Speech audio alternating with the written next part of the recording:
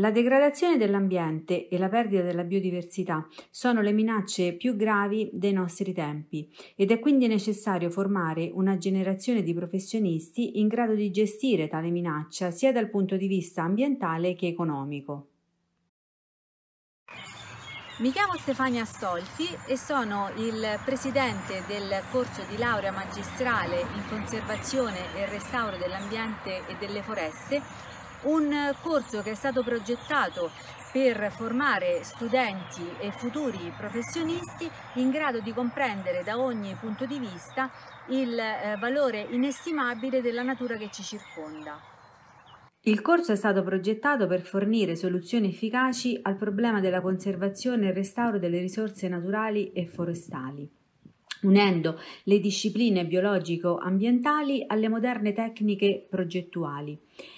Obiettivo del corso è far acquisire allo studente una spiccata capacità applicativa per l'esecuzione di progetti e lavori di ricostituzione boschiva ed ingegneria forestale per la protezione del suolo e delle sorgenti, per la sistemazione dei versanti e delle sponde fluviali, per la prevenzione e il contenimento dei processi di degradazione del territorio e per tutta quella serie di interventi rivolti al restauro forestale.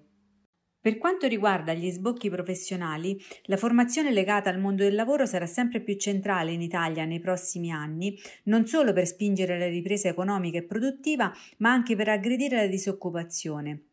E le stime dell'ultimo report di Union Camere riportano che entro il 2023 le imprese italiane e la pubblica amministrazione ricercheranno più di 500.000 lavoratori con competenze green legate all'ecosostenibilità ed in grado di cogliere al meglio le opportunità offerte dall'economia circolare. In questo contesto CRAF contribuisce a formare nell'ambito delle professioni intellettuali scientifiche con elevata specializzazione laureati specialisti nelle scienze della qualche numero sul corso. La durata del corso di laurea è di due anni e abbiamo 12 esami per un totale di 100 CFU. E 4 CFU sono dedicati al tirocinio e 16 CFU sono dedicati alla preparazione della tesi di laurea. Il tutto è organizzato in due eh, curriculum diversi.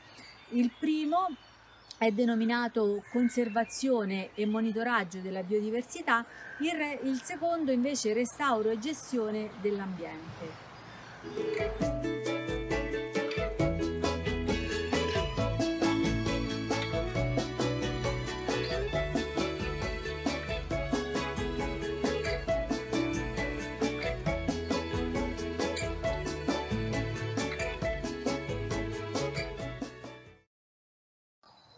Tutto questo e tanto altro è quello che vi offre il corso in conservazione e restauro dell'ambiente e delle foreste. Ti aspettiamo in aula.